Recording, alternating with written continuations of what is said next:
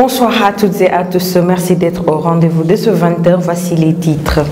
La pandémie du Covid-19 a franchi la barre des 300 contaminations à ce jour et le nombre de décès continue d'augmenter, une situation de plus en plus inquiétante. La DESCOS a procédé à la démolition des parcelles illégalement construites dans la forêt classée de Mour 4. Le collectif des occupants de ces parcelles lance un appel au chef de l'État. La communauté mourite en deuil. La personne morale du Daïra Isboutahia a tiré sa révérence. La population tiessoise témoigne. Départ de deux conseillers municipaux de Pure, le responsable de la fédération départementale de Tiwawan minimise l'impact de cette situation. Dans l'actualité nationale, le coronavirus a infecté l'université Gaston Berger de Saint-Louis, enseignants et étudiants testés positifs. Sur l'international, au moins 43 migrants se sont noyés au large des côtes libyennes. Et enfin, la page de sport va boucler cette présente édition.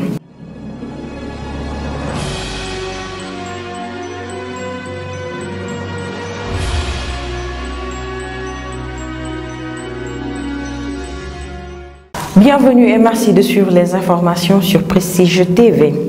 La flambée des contaminations au Sénégal devient inquiétante. Le pays a franchi la barre des 300 cas en 24 heures avec 9 décès enregistrés. Le point du jour avec le docteur Ousmane Gueye, coordonnateur du SNEPS. Le ministère de la Santé et de l'Action sociale a reçu les résultats des examens virologiques ci-après. Sur 2270 tests réalisés, 300 sont revenus positifs, soit un taux de positivité de 13,22%. Les cas positifs sont répartis comme suit. 126 cas contacts suivis par nos services, aucun cas importé enregistré dans les différentes portes d'entrée du pays, 174 cas issus de la transmission communautaire répartis comme suit.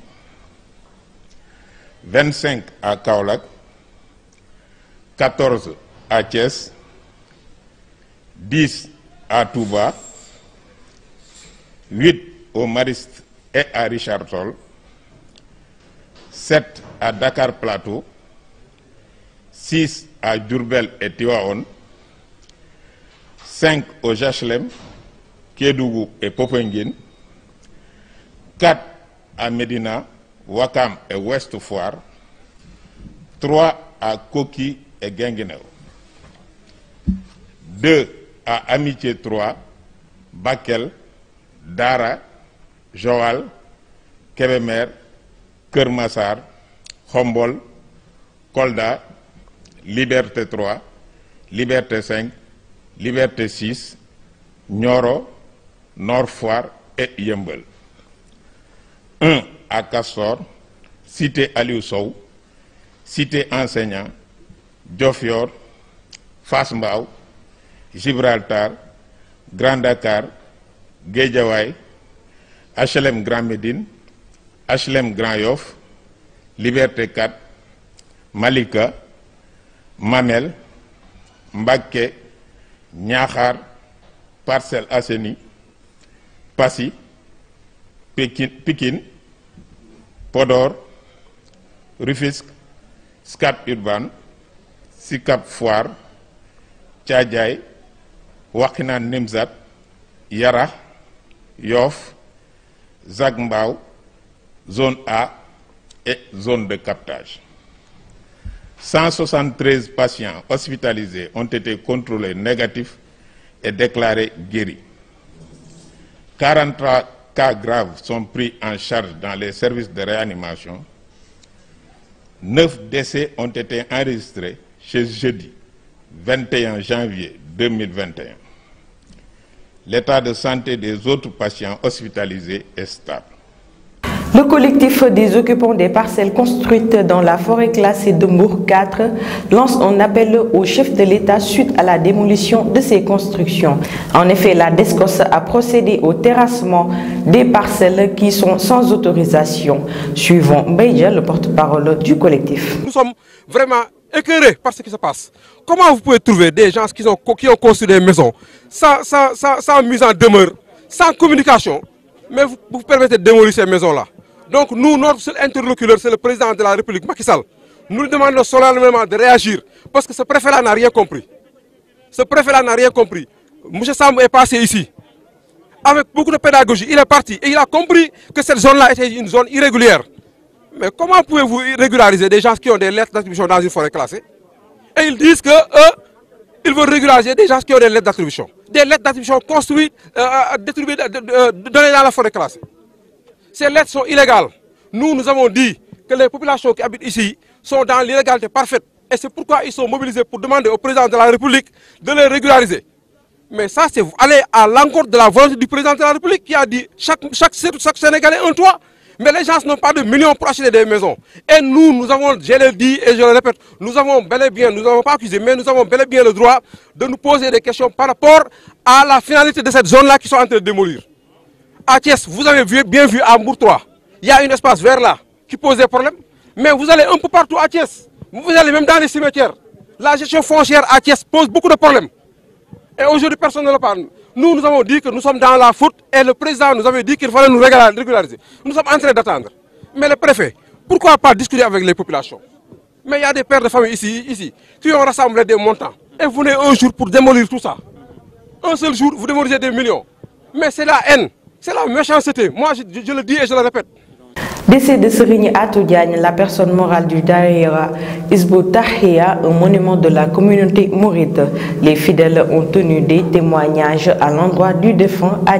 Reportage Mariemli. La communauté mouride s'est réveillée aujourd'hui avec une triste nouvelle. Serigne Atou Diagne, responsable moral du Daïra Isbou Tahia, a tiré sa révérence ce matin. Il était un fervent mouride. Il a dirigé pendant 40 ans ce mouvement composé d'intellectuels et de renom et qui œuvrait pour la perpétuation des enseignements de Cheikh Ahmadou Bamba. Tels sont les témoignages des représentants de Serigne Cheikh Ndigal Fall à Thiès. Avant d'aller loin, je présente mes sincères condoléances au Khalif général des Mourides et à la communauté mouride. Comme tout bon Serigne Atou Diagne vraiment était au service de la communauté. Il était à la, à la tête d'une grande, d'un grand mouvement, c'est-à-dire le mouvement des étudiants mourides. Vous le savez, par la suite, Serigne Saliou a changé l'appellation euh, en nommant Hizbut Tarqiyyah. C'est vers Dieu qu'on est venu et c'est vers lui qu'on retourne. Nous ai pris pour que son âme repose en paix. C'était un homme qui travaillait pour Serigne Touba, ce qui n'est pas facile. Serigne Touba l'avait choisi à la tête du Daïra Tarqiyyah, qui avait une autre dimension et il l'avait dirigé plus de 30 ans.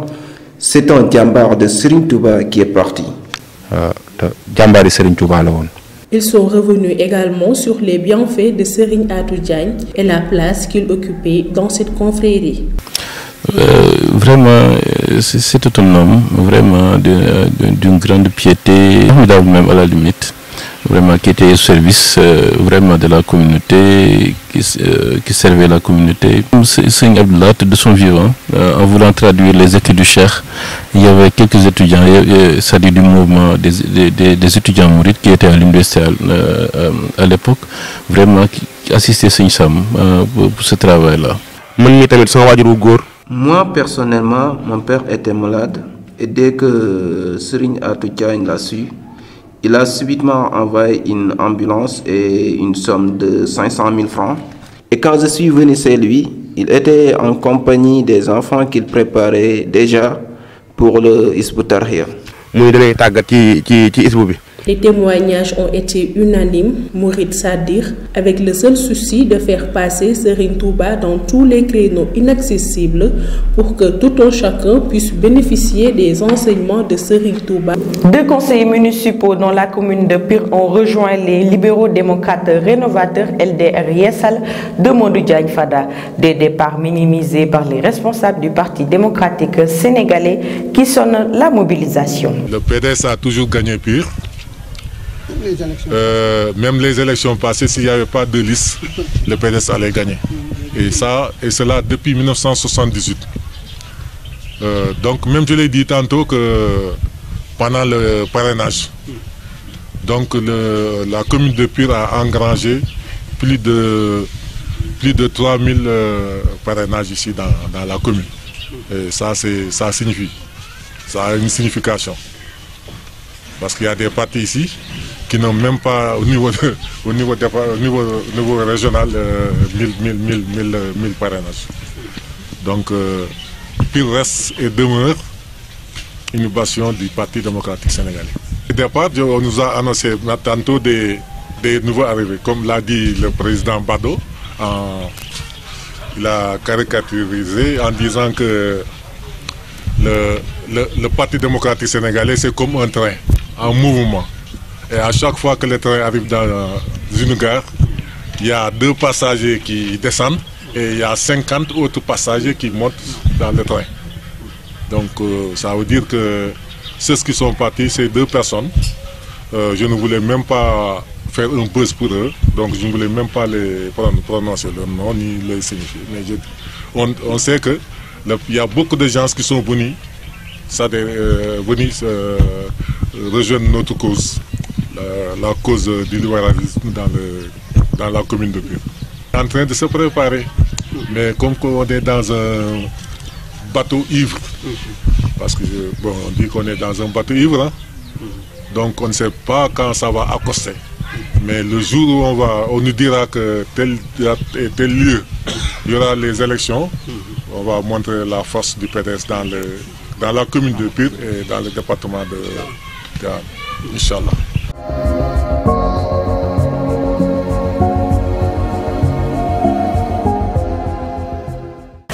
L'université Gaston Berger de Saint-Louis a été affectée par le coronavirus. Des étudiants, enseignants et personnels administratifs ont été testés positifs. Fatoufal pour le développement.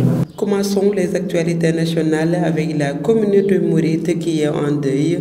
La personne morale du Daïra Isbotarhiya n'est plus. Serigne Atoudiane a tiré sa révérence. La triste nouvelle a été annoncée ce vendredi matin.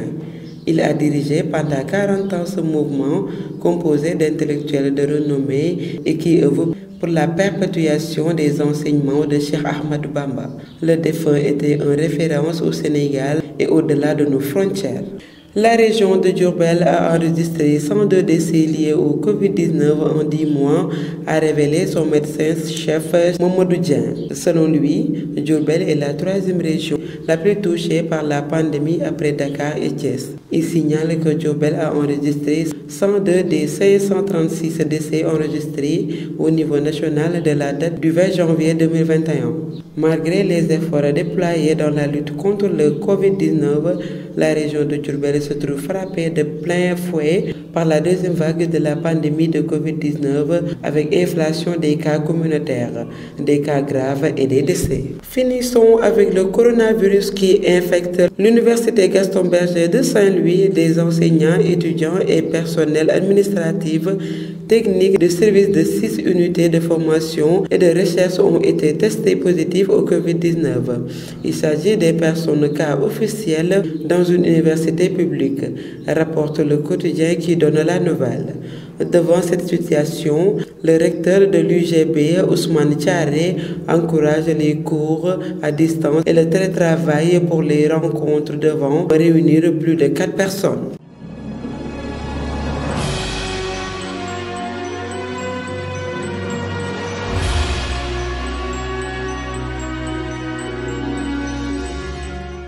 Drame au large des côtes libyennes, au moins 43 migrants ont perdu la vie dans un naufrage. Le naufrage d'une embarcation de migrants au large des côtes libyennes a fait au moins 43 morts, tandis que 10 autres personnes ont été secourues selon un bilan annoncé mercredi 20 janvier par l'Organisation des Nations Unies au lendemain du drame.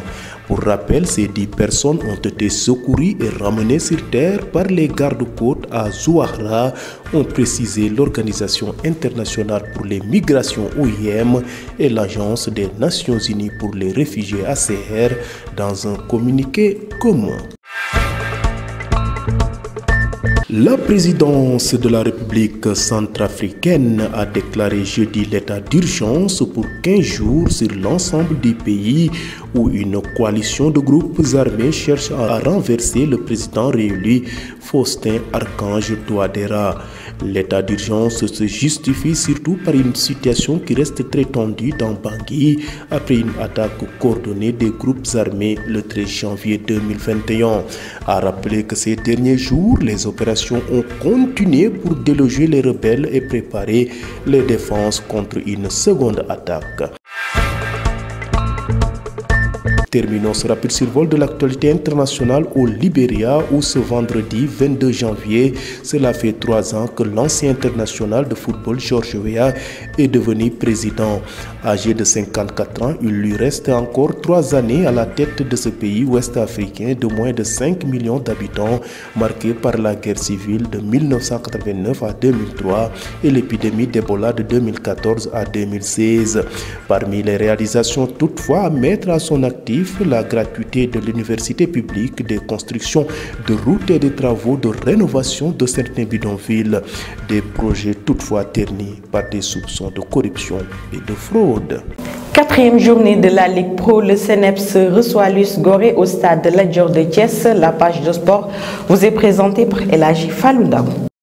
On ouvre avec le championnat d'Afrique des Nations, le Chan 2021 qui se joue actuellement au Cameroun. Nous avons joué la deuxième journée hier. Cameroun et Mali dans le groupe A font match nul un but partout.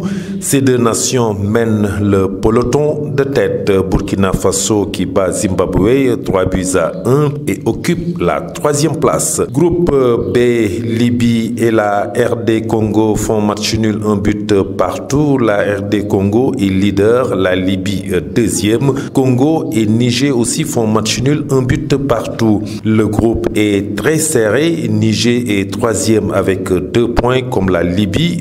Congo comptabilise un point. Au programme aujourd'hui pour le compte du groupe C, Maroc premier contre Rwanda deuxième. L'Ouganda joue contre le Togo. Et demain samedi pour le compte du groupe D, la Zambie deuxième joue contre la Guinée première. Les deux équipes ont chacune trois points. Namibie joue contre la Tanzanie. Football championnat national Ligue Pro 1, quatrième journée. Le Diagraphe reçoit la douane. Nyartali joue contre Nyambour à Fodewad. Le leader Djamba reçoit Dakar Sacré-Cœur. Mbour Petite Côte reçoit le Tenguet FC à Alassane Digo. Pikin contre Génération Foot et à Aline Citoyen Diata, c'est à Giguinchor. Le Casasport reçoit le stade de Mbourg. Et le dimanche, ici au stade La Dior de Thiès, le CNEPS Excellence reçoit l'US Gorée. Tous les matchs se jouent à 16h. En Ligue 2, samedi, J-Fatigue joue contre Gadjouai Football Club. Duc reçoit Diamono Fatigue et au stade La Dior de Thiès, Africa Promo Foot reçoit Dembo Diop. Le dimanche, l'US Wakam reçoit Amitié Football Club de Thiès, Kër Major contre Sonacos, Port contre Renaissance. Suite et fin le lundi au stade La Dior de Thiès, Thiès Football Club reçoit la Linguère de Saint-Louis. En National 1, groupe A, samedi, Gazelle de Kédougou reçoit la RS Yoff, Askafrin reçoit le Walidan de Thiès. Pour le compte de la poule B au stade La Dior de Thiès à 15h. L'US Rai reçoit Agel de Rufisque, Darussalam reçoit Assur de Richard Toll. Et le lundi pour le compte de la poule A au stade La Dior de Thiès, le Cayor Foot reçoit Olympique Ngor. Sur l'international, notons que l'international sénégalais Crépin Diata quitte Bruges et signe pour 5 ans à Monaco pour un transfert de 10,4 milliards de francs CFA. Ligue 1, toujours en France, 21e journée. Au programme ce vendredi, Paris Saint-Germain, leader, reçoit Montpellier, 11e. Et le samedi, Lens reçoit Nice, Monaco reçoit Marseille. League 18e journée, Liverpool est surpris à domicile par Burley, un but à zéro. Sadio Mané et son équipe sont maintenant quatrième à 6 points du leader Manchester United avec 34 points. Au programme ce samedi, en match retard de la 11e journée, Aston Villa joue contre Newcastle. Basketball pour terminer, troisième journée chez les garçons. Pour le compte de la poule B, Ville de Dakar Université Gaston Berger. Bob reçoit Saltigué et au Stadium La Dior de Thiès à 15h, l'US Rail reçoit Saint-Louis Basket Club dimanche à Marius Ndiaye. Dakar Université Club reçoit ASC Thiès. Et voilà, ceci met fin à cette édition, mesdames, messieurs. Merci d'avoir été au rendez-vous. Excellente suite des programmes sur Prestige TV.